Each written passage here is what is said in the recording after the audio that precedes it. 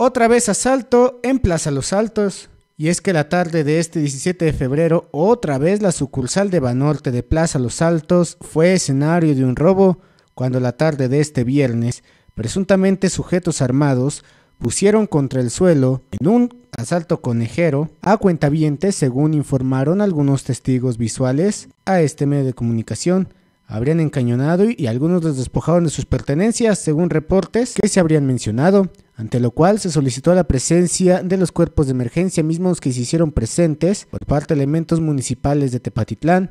Sin embargo, la Fiscalía del Estado de Jalisco ya se ha dado por entrada del caso y ha tomado el mando y conducción de las investigaciones, por lo que ya realizan la revisión de las cámaras de vigilancia y seguridad. Sin embargo, mencionar que esta no es la primera ocasión que en esta sucursal de Banorte de Plaza Los Altos ocurre algún asalto.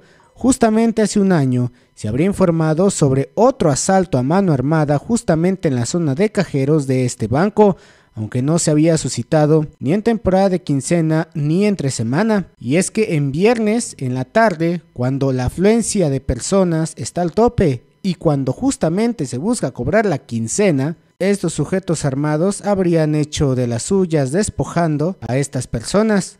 Por las acciones del año pasado, las autoridades municipales habían informado que habían montado un operativo de vigilancia y resguardo en esta zona catalogada como altamente conflictiva de alto riesgo de asaltos.